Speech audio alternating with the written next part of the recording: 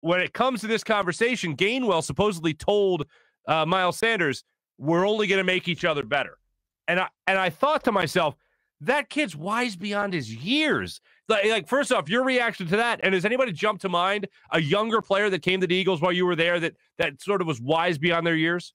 Uh, to me, that that that kind of screams when I listen to it, and, and, you put it in context for me a little bit. It, it says that yeah, I'm, I'm I'm trying to take your job. I mean, because that's basically what it is. He's trying to take his job, but he's trying to be respectful about it. You know, listen, the kid's hungry, and you have to like that. You have to love the fact that the kid is hungry. Now it's on Miles Sanders to make sure that he does everything that he possibly can to keep that young man in a position where he can't take his job. Mm-hmm. But you have to respect him coming in and saying that they're going to make each other better because it's the truth. Because you're you're you're going against each other every day, and you're you're fighting for the same position. You're fighting to be seen. You're fighting for reps. I mean, it, it sounds to me like a kid that gets it. The closest thing that I can think to that is, is when Tra came into the league.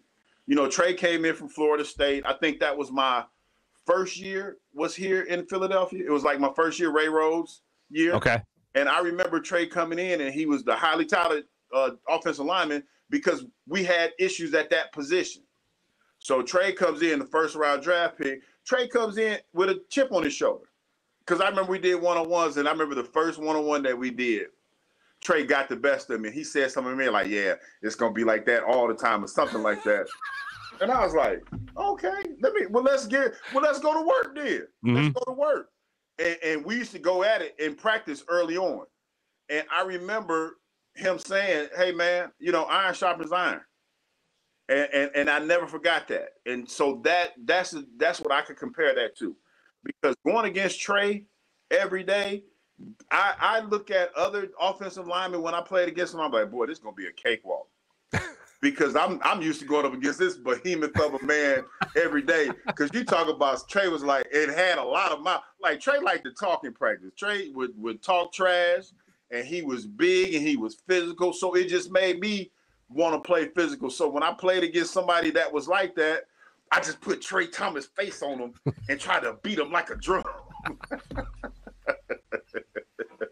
no, but I, I get that. I get that because he's telling the truth. He's mm-hmm. trying to make his name, and you know he's going against another good running back. So hey, you gotta let him know, hey, hey man, if if I catch you slipping, I'm gonna take your spot. So he's gonna make it better because that means every morning you wake up, you got to bring your A game. Yeah, you know, I I had a similar thought in that it it almost sounds threatening like like it, like along along the lines of what you're saying, it almost sounds like in the most the, the best possible sportsman's way to threaten. Yeah. That's the way to threaten. Like, hey, we're gonna make each other better, or I'm just gonna pass you. Like that's basically what he's saying. Listen, let me tell you. Uh, when when when they drafted Derrick Burgess, I never forget it. We drafted Derrick Burgess from Ole Miss, and and uh, Andy Reid called me, and he was like, he said, "Hey, we're drafting D Bird. It's no way in shape or reflect on you. Yada yada yada. I'm thinking to myself, Coach, that's BS. that's great BS. Mm-hmm. You draft like look at Derrick Burgess and look at me. Right. I mean, we're kind of mirror images of each other, the same size, the same type of player, say play the same position. And I knew he was coming to take my job. And I did everything in my power to help Derrick Burgess along as much as I possibly could, but I was not about to let Derrick play. I remember it would be times where we'd be in a game and, and they'll say, "Hey, Hugh, you want to take a breather?" And I look at the sideline and I see Derrick and I'm like, "Nah, I'm good. I'm not about to let you. I'm not about to let him show what he could do because I knew he could play. So I was like, I'm not about to give him an opportunity. Right. So it was on me. Like I knew he was there to replace me, but it was on me to make sure that I didn't give him the, the the rope to hang me with. You know what I mean? so I had to stay on my A game all the time. Had to work worked out a little bit harder every day. Uh, went through one on ones and pushed a little bit harder because I knew he was coming. And when he got his opportunity, you see what happened. Mm-hmm. So you know, it's one of those things, man. You respect it because that's a part of the game.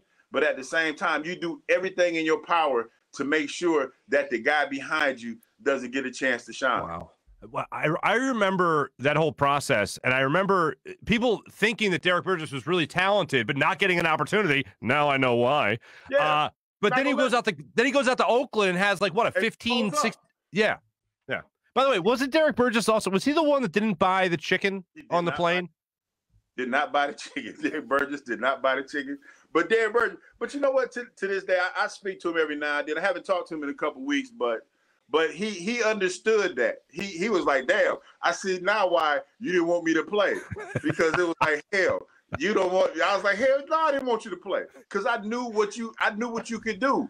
But by seeing me, it made him a better player. And he went out there and he did his thing. And and that's how it goes, man. Same thing with Trent Cole. Only difference is with Trent Cole, I couldn't stop him. I was then. I, was, I couldn't fight him off. It was a wrap, so I had to let it go.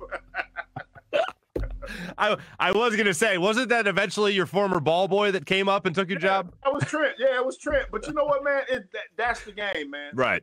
Right. You come into the NFL knowing that, and you have to know this, Marc. They're always looking to replace you, regardless of what they say, regardless of what position you're in. Oh yeah. You're always looking to be replaced.